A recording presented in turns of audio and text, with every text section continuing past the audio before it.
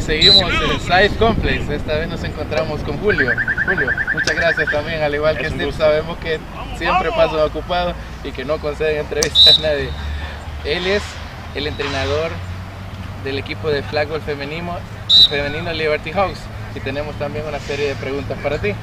La primera y, como dicen, sobre todo, ¿es el mismo entrenamiento tanto para mujeres como para hombres? Es bien compleja la respuesta porque el entrenamiento consta de cuatro horas, ¿okay? de tres a cuatro horas dependiendo del día. Y en sí hay, hay semejanzas, así como hay diferencias. La preparación física sí es muy parecida a la de los hombres porque nosotros necesitamos tener un cardiovascular en óptimas condiciones.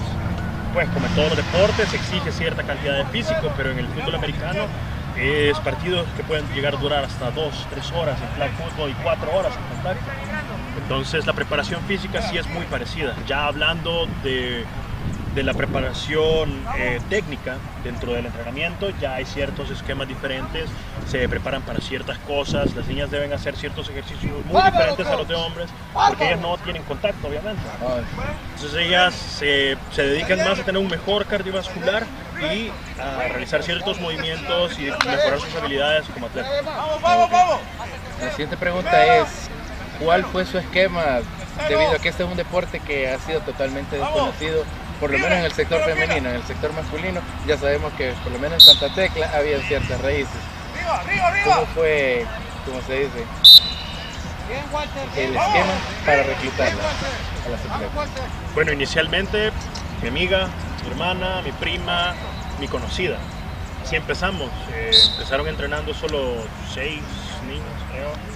Y eran eh, la exnovia de alguien, la novia de alguien, la amiga de alguien pero después esa novia hermana trajo a una amiga y esa amiga trajo a otra amiga y así empezamos. Luego ya después de haber visto que alguien entrenaba, alguien más se unió y así hemos traído varias niñas. Han ido apareciendo de poco a poco. Pues. Como dicen, de una en una han ido llegando. Otra pregunta, ¿tienen algún torneo proyectado? ¿Los han invitado a algún evento? Pues inicialmente se está jugando dentro del torneo mixto de seis. SAFE prepara un torneo en donde se encuentran cuatro divisiones, cada división consta de cinco a seis equipos y es mixto, se juega con hombres y con mujeres, eso está sucediendo desde enero, finaliza en marzo y las niñas están jugando dentro de ellos diferentes equipos, no juegan como conjunto, ellas se foguean por separado, pero están preparándose para el próximo 22, 23 y 24 de febrero jugar en Nicaragua en el torneo Cuatro Naciones y pues si Dios nos lo permite vamos a poder ir a jugar al Mundial en Israel. Eso, esa palabra sí me han dejado atónito porque en El Salvador hay excelentes atletas, tanto masculinos como femeninos, y se les da muy poca prioridad por el hecho que no es fútbol soccer. Aquí vemos un claro ejemplo pues del trabajo, sobre todo disciplina, porque este es un deporte de disciplina, pues porque no es que vos venís, decís quiero jugar y ya, directo a la cancha, sino que es un proceso. Cuéntanos un poco acerca del proceso antes de decir voy a patear el balón. Bueno, es, duro. Tanto en mujeres como hombres es duro. requiere demasiada preparación, demasiado entrenamiento. Eh, bueno, las niñas pasaron dos meses entrenando antes de poder jugar de verdad eso solo fue preparación física y preparación mental, estratégica y técnica.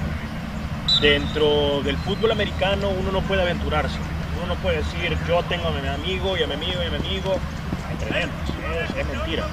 Eh, uno debe estar preparado, es un deporte complejo, duro, eh, es complicado pues, entonces las niñas han pasado por dos meses de entrenamiento antes de poder jugar un verdadero partido. Se han hecho amistosos con equipos mixtos y con equipos solamente de hombres. Pero eh, sí, eh, para la preparación en sí, para esto es... Es fundamental. Y es complejo. Es complejo. Bueno, otra, otra pregunta que, bueno, me la hizo una amiga realmente. Nosotros hemos visto el fútbol americano femenino y es bien diferente, ¿verdad? porque ahí salen casi, casi bikinis, ¿verdad? No sé, dinos, ¿cuál, ¿cuál es la diferencia? Si el otro es puro espectáculo o en qué se basa. Bueno, inicialmente, eh, bueno, se llama Legends eh, Football League. Es, es, de contacto y es de mujeres. eh, que, el que me mencionas. Sí. En ese, es- bueno, sí se golpean, hay golpeo, hay la misma cantidad de jugadoras, el terreno es un poco más pequeño, hay diferentes distancias, pero es de contacto. O sea, lo único que delimita el deporte en sí es el terreno, porque es como jugar en una cancha de fútbol rápido. La diferencia es que aquí no tenemos contacto y la indumentaria que deben utilizar las niñas es una camiseta y una funda como la que se usa en el fútbol americano.